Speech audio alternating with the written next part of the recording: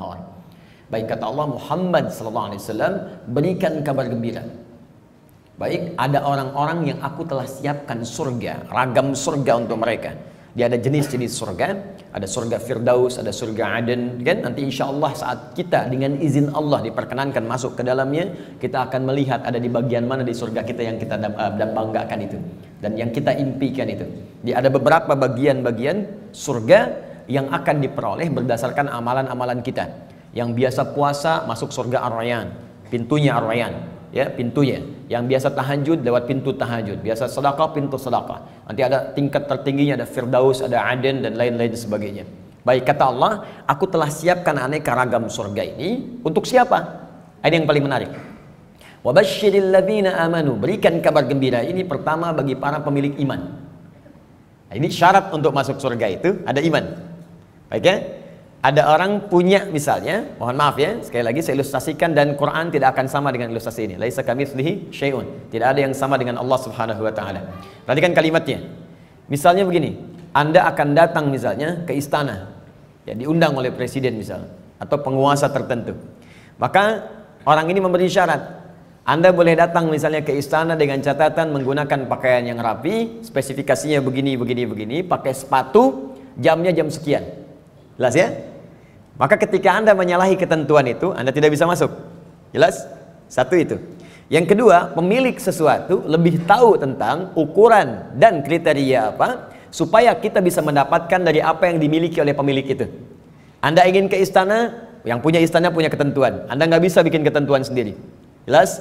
Anda masuk komplek angkatan laut, maka komplek ini punya aturan yang harus diikuti. Tidak bisa Anda sendiri bikin aturan. Anda ingin ke surga, yang punya surga itu Allah. Maka Allah bikin aturan. Nggak bisa Anda bikin aturan sendiri. Kalau di rumah Anda sekarang, Anda yang punya aturan. Saya masuk ke rumah Anda, saya ikuti aturan Anda. Anda masuk rumah Allah karena masjid rumah Allah, maka ikuti aturan Allah. Masuk rumah Anda, ucapkan Assalamualaikum. Masuk rumah Allah, kaki kanan masuk, ucapkan doa. Keluar kaki kiri, ucapkan doa. Ada aturannya. Sekarang kita ingin ke surga. Surga itu bukan punya kita. Surga punya Allah. Allah yang punya. Maka Allah yang punya surga itu memberikan berita siapa yang bisa masuk ke situ. Kata Allah, orang yang bisa masuk ke surga adalah hamba-hambaku yang punya dua syarat saat dia hidup di dunia. Apa syaratnya? Dan ini berita gembira. Di ada orang sebelum wafat diberikan berita gembira. Kalau punya dua hal ini, Anda berpeluang bisa memilih dari pintu mana Anda akan masuk ke surga yang Anda idamkan itu. Sesuai dengan amalan-amalan yang kita kerjakan. Nah, di antara dua ini, syarat pertamanya iman. Kata Allah, "Wa amanu", berikan kabar gembira pada orang yang telah punya iman. Dan kalimatnya menggunakan alladzina, disebutkan 1080 kali dalam Al-Qur'an. Ismun mausulun yadullu 'alal jam'il jam'iyah. Kata sambung konjungsi kadang menunjuk pada objek tanpa batas. Jadi bisa untuk orang dewasa, anak kecil, laki-laki, perempuan, tua, muda, ya, maaf, kaya, cukup semua kalangan tanpa batas.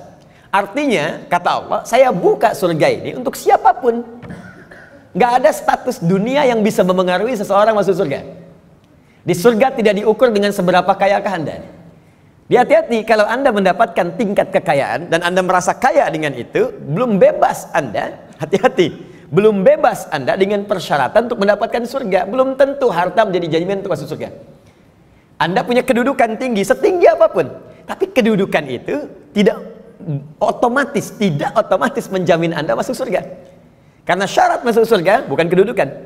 Kalau syarat masuk surga kedudukan, Firaun paling duluan masuk surga. Namrud lebih duluan masuk surga. Jelas? Baik, karena syarat masuk surga itu kaya, maka korun itu paling depan masuk surga. Tapi ingat, syarat surga kata Allah bukan kekayaan, bukan kedudukan. Dia jangan bangga dulu kalau punya kedudukan tinggi atau harta melimpah, karena itu belum jadi ukuran kebaikan di hadapan Allah Subhanahu wa taala. Kecuali nanti kedudukan atau harta itu diisi dengan iman. Iman itu yang akan menunjukkan harta dan kedudukan untuk mengerjakan amal soleh sebagai bekal ke surga. Maka golongan pertama kata Allah, saya berikan kesempatan yang luas. Baik itu tua, muda, laki, perempuan, besar, kecil, kaya, cukup, semua punya peluang ke surga. Dan itu hanya diberikan dengan satu kata saja, alladzina. Semuanya. Tapi dari semua itu Aku hanya minta dua syarat saja. Satu, semua kalangan itu punya iman. Yakin denganku kata Allah, yakin tanpa ragu.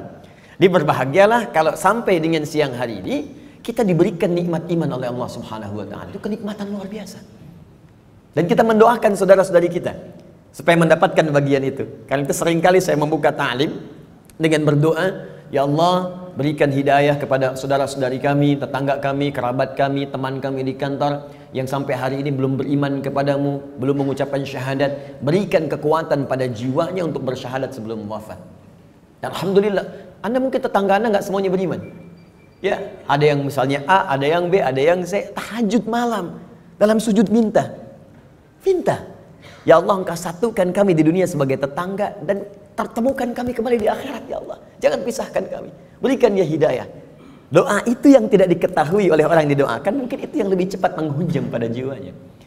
Kami di taklim di Bekasi itu selalu membiasakan meminta kepada Allah. Ya setiap malam Jumat kita minta berusaha berusaha. Alhamdulillah hampir setiap pekan ada yang masuk Islam.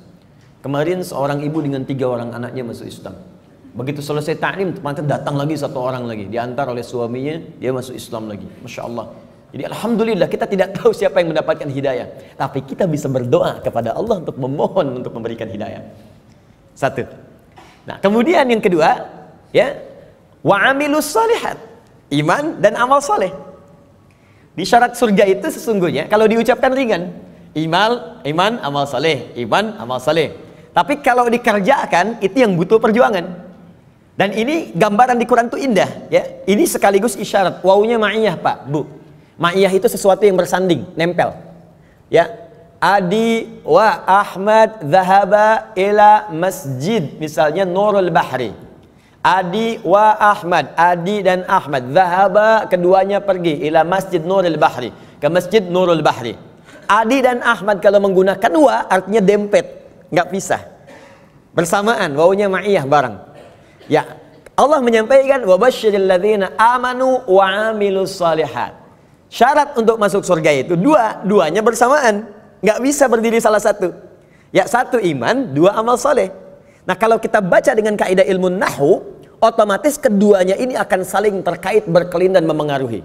Artinya orang yang beriman pasti beramal soleh.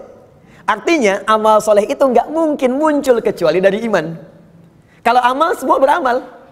Ya, yang belum beriman pun bisa beramal. Tapi belum tentu disebut soleh. Ingat, Ya, tayyib mungkin. Non muslim bisa mendapatkan tayyib. Ya, khair mungkin karena baik itu banyak di Quran. Ada khair, awas ada tayyib, hati-hati. Ada ma'ruf, ada ihsan, ada saleh. Lima. Tayyib, kebaikan fisik. Ya, kalau Anda makan yang sehat, yang menyehatkan, yang dibutuhkan itu tayyib namanya. Itu anjuran di Quran surah kedua ayat 168. Kata Allah kalau ingin cari makan Tidak semua yang diinginkan mesti dikonsumsi. Cari yang menyehatkan untuk tubuh. Ya ayyuhan nasu kulu mimma fil ardi halalan tayyiba Hei semua manusia Ini rumus dalam Al-Quran universal sifatnya. Kalau anda ingin menyebar di bumi untuk cari makan silahkan Kalau sudah dapat dengan cara yang halal Jangan melanggar ketentuan hukum di mana kamu tinggal Dapat dari situ berikan yang bermanfaat untuk tubuh. Tidak semua yang diinginkan itu harus dikonsumsi. Yang dibutuhkan itu yang didapatkan. Haus berarti butuh minuman. Yang penting minum. Gak semua yang diinginkan harus kita minum. Alhamdulillah ada air bening, minum ya minum.